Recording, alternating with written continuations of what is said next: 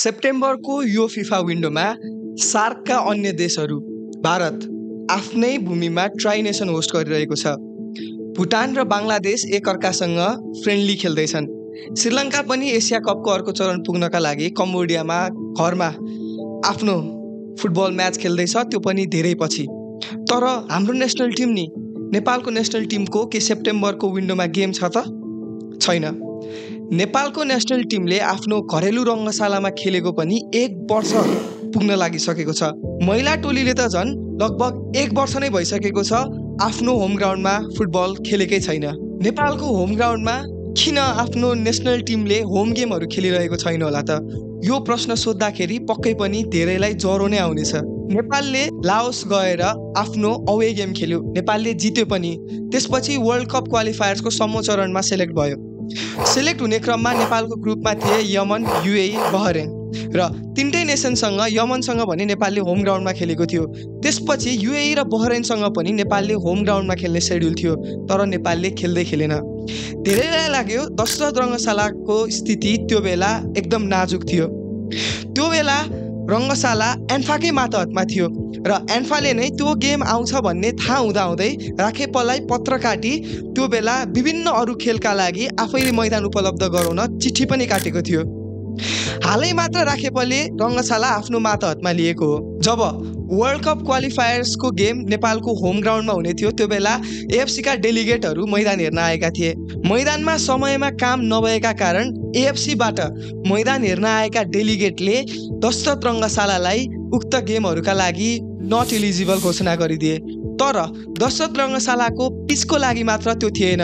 दशरथ रङ्गशालाको security issues dressing room त्यहाँको digital board र अन्य धेरै कुराहरूको पनि एएफसीले इस्यु उठाएको थियो।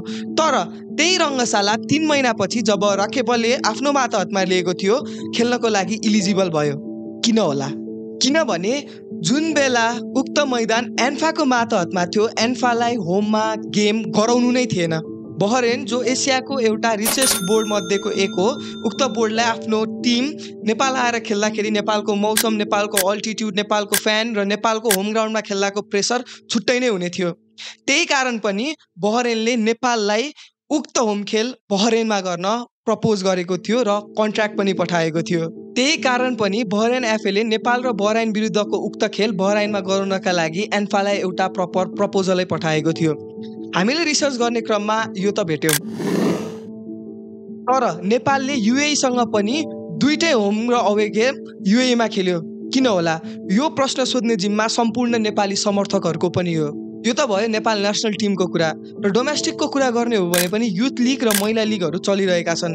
फुटबल चलायमान हुनु राम्रो पनि हो तर यो चलायमान भइरहँदा यसको इफेक्ट भने सधैँ नेसनल टिमलाई नै पर्ने गर्छ।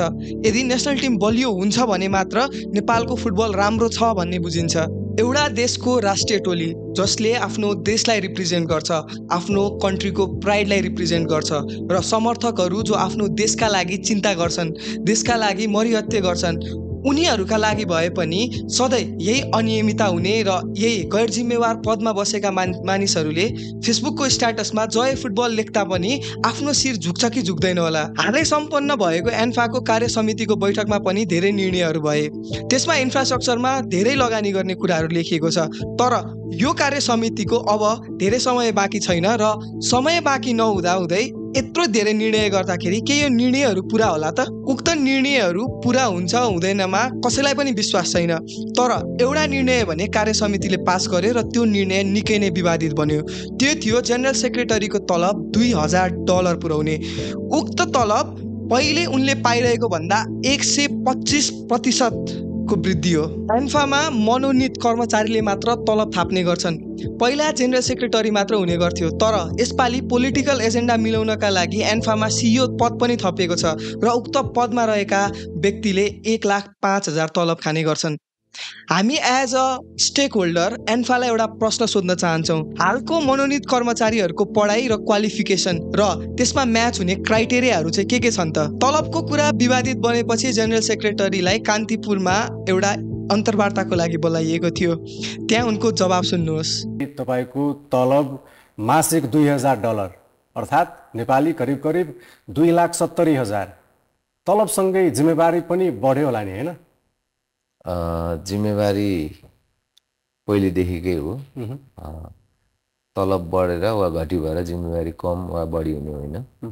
त्यो जिम्मेवारी भएको कारणले गर्दाखेरि इन्टरनेसनल ट्रेन्ड नै के हो भन्दाखेरि महासचिवलाई चाहिँ फाइनेन्सियली चाहिँ स्ट्रङ वा चाहिँ उसले अरू काम गर्नु नगाउने कारणले गर्दा उसलाई चाहिँ पे गर्नुपर्छ भनेर फिफा एफसीले नै यो संसारभरि नै गर्ने हो। र नेपालको सन्दर्भमा सबैभन्दा कम अहिले पनि हाम्रो महासचिवले लिने स्यालेरी। तर पनि अब कहिले पनि त्यो खालको गुनासो गरिएन। दुई हजार डलर पनि कम हो अझ। अरूको तुलनामा नेपाल चाहिँ कम हो कि संसारभरिमै। तर पनि कहिले पनि त्यो गुनासोहरू त अब गरिएको थिएन व्यक्तिगत रूपमा तर अब कार्य समितिका साथीहरूले प्रस्ताव गर्नु र निर्णय गर्नुभएको छ। त्यसलाई त धन्यवाद भन्नु। कतिपयले विरोध उनले उक्त इन्टरभ्यूमा अरू देशको तुलनामा आफ्नो तलब अझै कम भएको बताए। तर यदि तुलना नै गर्नुहुन्छ भने अन्य देशको महासचिवको क्वालिफिकेसन र क्राइटेरिया हेर्नुहुन्छ र लेभलमा कम्पेरिजनै गर्नुहुन्छ भने न तपाईँको क्राइटेरिया मिल्छ न त तपाईँको क्वालिफिकेसन नै न त उनीहरूले गरेको काम र नेपाली फुटबलमा भइरहेको कामको कम्पेरिजन नै। एउटा बैठकमा भएको निर्णय अर्को बैठकसम्म टिक्दा पनि नटिक्ने। विदेश जानको लागि पार्टी चेन्ज हानिदिने र अन्य यस्ता धेरै कुराहरू आर्थिक अनियमितताको त कुरै पनि नगरौँ। नेपालमा फिफालाई एन्फाले जति फन्डिङ गर्ने गरेको छ अन्य कुनै पनि खेलकुदको प्यारेन्ट्स अर्गनाइजेसनले उक्त खेलकुदहरूलाई गर्ने गरेको छैन। तर पनि यो संस्था कस्तो नेतृत्वको हातमा छ त? हामीले यो प्रश्न सधैँ उठाउँदै आइरहेका छौँ र हामीले यो धेरै पछि पनि भिडियो बनाएका छौँ किनभने यहाँ धेरै कुराहरू पनि गडबड छ। अन्तिममा एउटा सन्देश। फुटबलमा फ्यान्सहरू पनि स्टेक होल्डर हुन्। उनीहरूले पनि आफूले समर्थन गरेको खेलमा के कस्तो भइरहेको छ भनेर जानकारी पाउनका लागि पूर्ण रूपमा हकदार रहेका छन्।